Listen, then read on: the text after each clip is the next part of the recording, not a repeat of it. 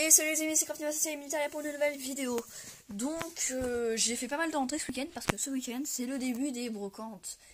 Ce point un moment, j'étais inactif parce qu'il n'y avait aucune brocante, c'était l'hiver. Vous vouliez qu'il y ait quoi comme brocante? Putain.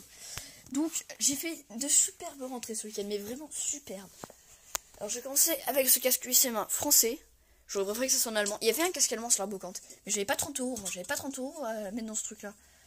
Voilà, donc celui-là, juste pour vous dire, j'ai récupéré ça et son filet, son petit filet du SMA, ça et ça, j'ai tout ça à 1 euro. Mais oui, les gens, 1 euro.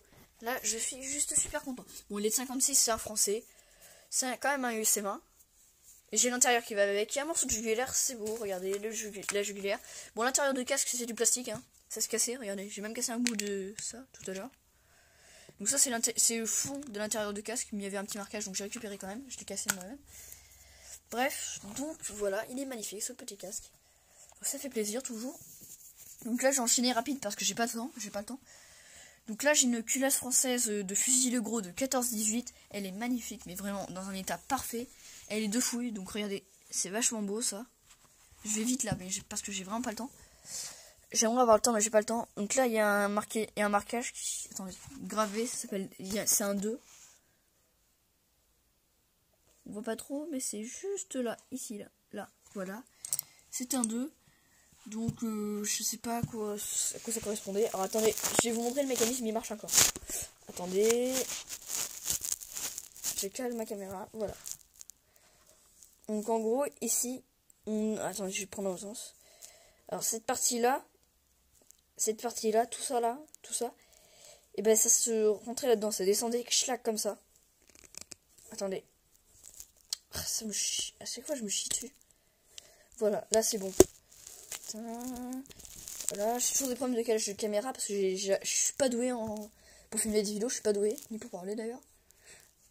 Bon, là, je viens de me foutre de la graisse sur les doigts. Je sais pas si. Voilà, je viens de me foutre de la graisse sur les doigts.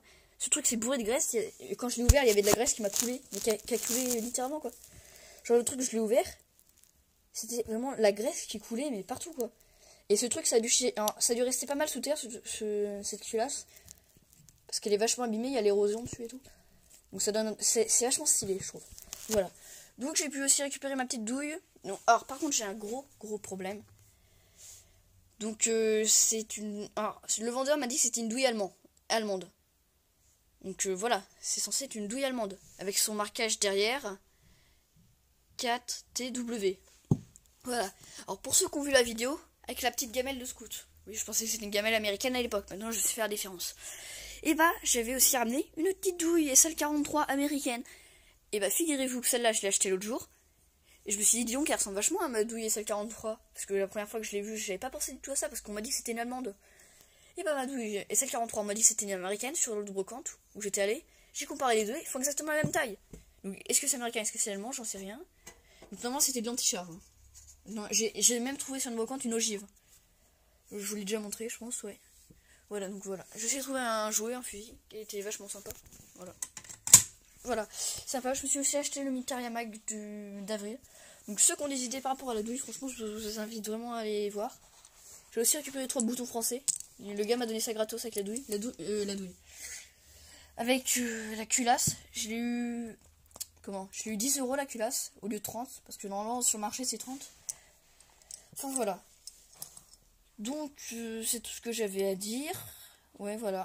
Donc le petit filet il est quand même assez rare hein, par rapport. Euh, je l'ai eu en même temps que le casque. Donc en tout j'ai eu pour tout ça pour donc un petit un total de 11 euros tout ça. Le casque, son morceau d'intérieur, le filet et ça je les ai eu pour 11 euros. Donc je suis plutôt content de moi. Je compte pas le magazine parce que ça coûte cher. Genre, pour vous donner un ordre d'idée, le magazine il vaut quasiment aussi cher que tout ce que j'ai acheté. Donc euh, voilà. Bon bah sur ce les amis, je vous dis à plus pour une prochaine vidéo. Je suis vraiment content de ces rentrées. Parce que c'est le premier jour de retour des. Enfin le premier week-end de retour des brocantes. Parce qu'avant il faisait froid et du coup il y avait moins de monde. Il y a moins d'exposants. Et du coup là, j'ai fait une bonne rentrée pour le début. Sur ce les amis, je vous dis à plus pour une prochaine vidéo. Je ferai sans doute une vidéo avec tous mes équipements américains. Avec tout mon équipement américain.